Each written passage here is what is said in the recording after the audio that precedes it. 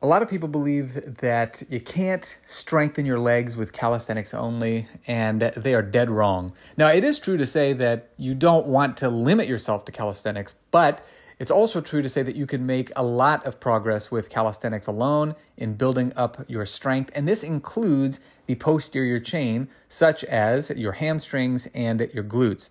So, I highly recommend hamstring curls as a staple in anybody's program, but if the standard body weight hamstring curl variations are starting to get a little bit easy, you can always make them more challenging by doing them on a single leg. One of the nice things about this is that in addition to making them more challenging, they're also going to be more productive for building strength and muscle and also evening out the imbalances that you might have developed between your legs.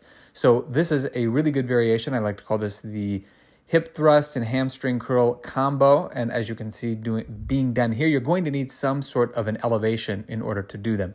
Now, the other one to keep in mind is the straight leg hip thrust. And although ordinarily hip thrusts are looked at as focusing primarily on the glutes, in this case, we're actually working on the function of the hamstrings that helps you to extend the hips. This is something that doesn't get focused on a whole lot, again, in the calisthenics world, but even in the weight training world. And this is a nice, well, I wouldn't say easy way per se to start to work on it, but it is a very effective way. And as you can see, it doesn't really require much by way of standard equipment. So give these a shot. Try the two leg version first if you have not already. Let me know how you like it all. And as always, have fun and happy training.